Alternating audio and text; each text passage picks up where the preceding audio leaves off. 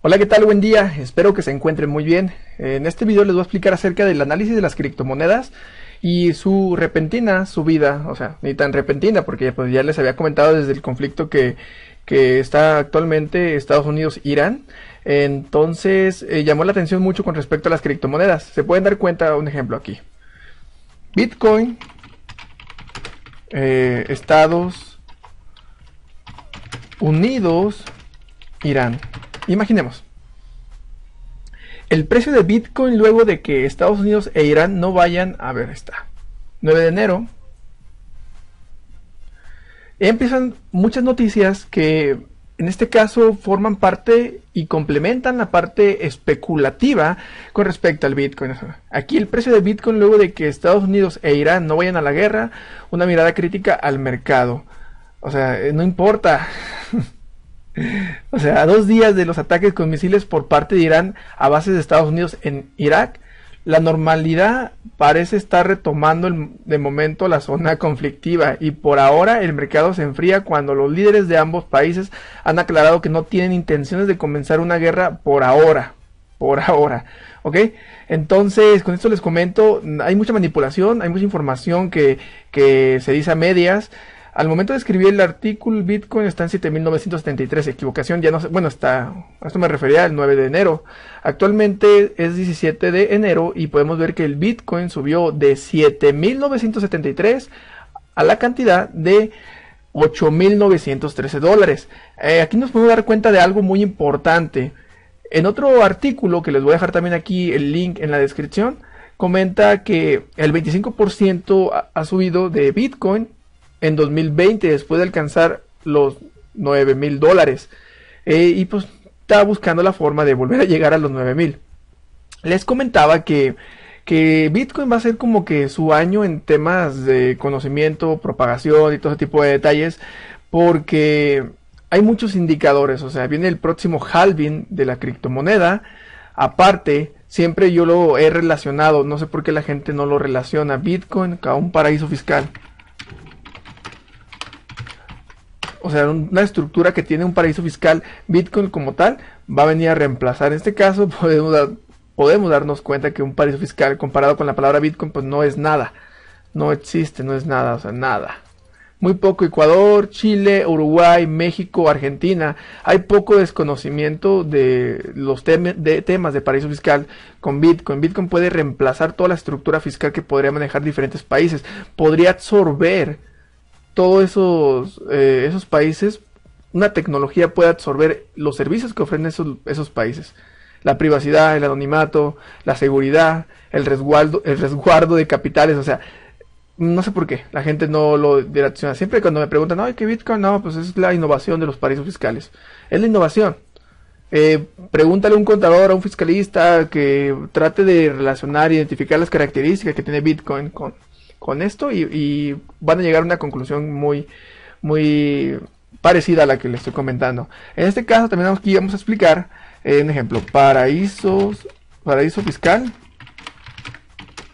y Bitcoin. Relación, relación.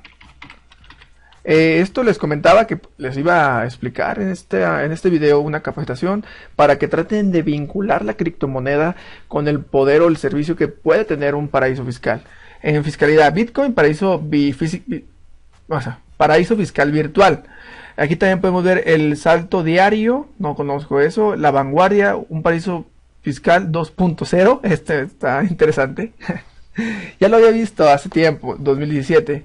El nivel de anonimato y la imposibilidad de control de, del físico tienta a más de uno para usarlo con, para fines opacos. O sea, estos artículos a veces son muy, muy manipulados porque pues, el, tema, el tema privacidad no tiene nada que ver con algo ilegal que se pueda realizar. O sea, y se les olvida que los, no que los paraísos fiscales no son malos, o más bien no quieren dar, o sea, no quieren decir que un paraíso fiscal tiene cosas positivas. Y hay lugares que se llaman infiernos fiscales. Tengan en cuenta eso, los infiernos fiscales.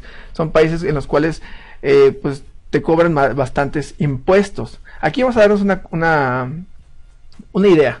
El término paraíso fiscal e infierno fiscal. Se pueden dar cuenta que el término infierno fiscal no, no es muy conocido. Pero el término paraíso fiscal es muy conocido en Angola, Cuba, Nicaragua, Panamá, Ecuador. Es más, es muy probable que tú, si apenas vas a meterte a este entorno de negocios virtuales y de otro tipo de detalles, eh, y que llegue el término paraíso fiscal, directamente puede relacionar con lavado de dinero. Pero no, son mecanismos o son servicios que puedes obtener y te ayuda para una cierto tipo de elusión fiscal. No evasión de impuestos, no elusión fiscal, estrategias para que tu dinero te rinda más. Eh, aquí vamos a poner otro, lavado de dinero. Lavado de dinero. Y solamente por esta comparativa, ¿eh? si se pueden dar cuenta, es, más llamativo el tema del lavado de dinero que lo que viene siendo paraíso fiscal. O sea, pero tiene una relación directa con el, los, la tendencia que les está mostrando en esta gráfica. Pero ahora viene el chido.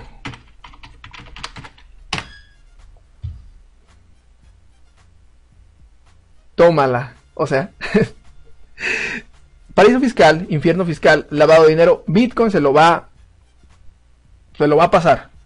Todo eso lo va a superar. Entonces se pueden dar cuenta la comparativa que hay, o sea, Ecuador, Chile, República Dominicana, España. España es un paraíso, no, España es un infierno fiscal. Y hay otros países, o sea, que podrían decirse que también tienen esas características. Ahora bien, en este momento creo comentarles que Bitcoin en el 2020 va a llegar al mm, va a llegar entre los 15 mil dólares y o sea va a tener una subida interesante y creo que no estoy haciendo análisis técnico solamente de base con el análisis fundamental o análisis tendencial de ese tipo de información que les estoy comentando. Eh, va a llegar el momento en el que entienda las personas o eh, personas que tienen conocimiento financiero y que detecten esta relación directa, paraíso fiscal, infiernos fiscales, lavado de dinero, pum, Bitcoin, o cuando, cuando encuentren esa relación de relacionamiento de puntos, dije, oye, pues Bitcoin viene a reemplazar toda la estructura fiscal de que puede ser larga, que, te puede, que pueden cobrar por tramitología y todo ese tipo de, de cosas. Bitcoin viene a superarlo. Entonces, actualmente podemos ver y, lo, muchos eh, especuladores comentan que Bitcoin pues se incrementó por la guerra y todo ese tipo de detalles, ¿no? Eh, pero si llegaran a haber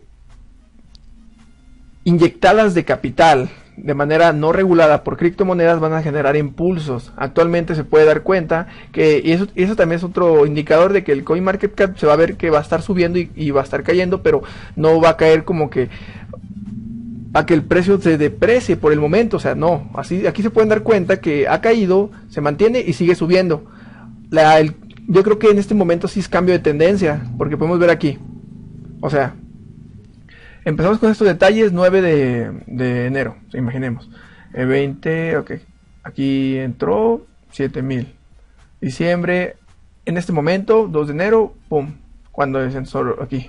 Empezamos, subió, tuvo una caída, aquí podemos ver, pero sigue subiendo, sigue subiendo. Entonces, con esto que les estoy comentando, eh, un servidor, es muy probable que el precio del Bitcoin llegue a valorizarse, pues a superar este máximo, ¿no? Este, este máximo que llegó a los 12.528 dólares el Bitcoin y va a empezar a generar su propia, su propia por el halving para generar también otra especulación que hacer que va a ser el que la criptomoneda tenga una tendencia alcista es muy probable que ocurra eso. Entonces aquí podemos ver que el pico máximo que llegó fueron a los 12.000 no que es lo que ahorita les había mostrado o 13.000 superaría creo que estaría como los 15.000 aquí.